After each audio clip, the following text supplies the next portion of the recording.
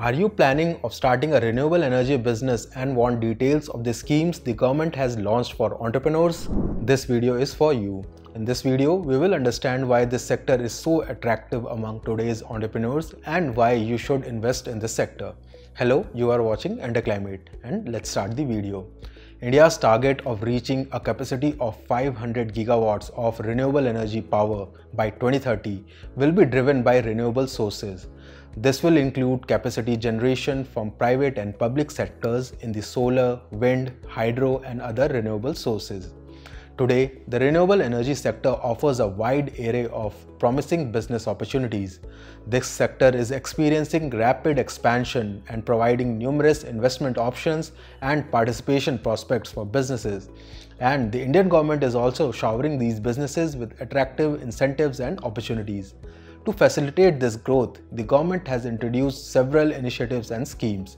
These include permitting FDI up to 100% under the automatic route for renewable energy related investments, waiver of interstate transmission system charges for interstate sale of solar and wind power for projects to be commissioned by 30th of June 2025, setting up of ultra mega renewable energy parks to provide land and transmission to RE developers on a plug and play basis, building transmission lines and creating substation capacities for evacuation and setting up of project development cell for facilitating investments. Standard building guidelines for tariff-based competitive bidding process for the procurement of power from grid-connected solar, photovoltaic and wind projects and conducting skill and developmental programs for entrepreneurs for the implementation, operation and maintenance of renewable energy projects. Some of the crucial programs that the government has undertaken include the National Solar Mission of 2010, Off-Grid and Decentralized Solar Photovoltaic Application Program, the PM Kusum Scheme, Solar Park Scheme of 2014 and the National Green Hydrogen Mission. Now, this table shows the present installed capacity of India in the terms of renewable energy that is being generated in 2023.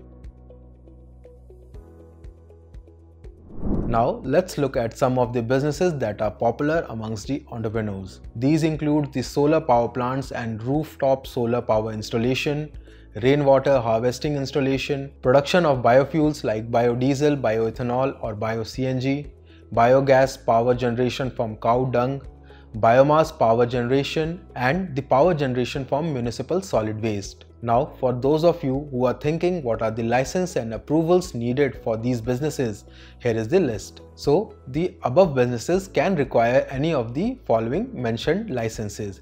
Company incorporation, GST registration, MSME registration, the shop and establishments license, pollution NOC, CEIG approval and loan related documents in case you need financing for your renewable energy project. Now, I would like to add that this is the right time to start your sustainable and a future ready business. In addition to these schemes, the recently announced Green Credit Scheme has given the private sector a golden opportunity. If you want to participate in this revolution, contact our experts today and take the competitive edge in this highly rewarding segment. Don't wait then, head down to our website for the detailed analysis of the mentioned sectors and choose the business area that suits you. So that was all for today's video. Thank you for watching.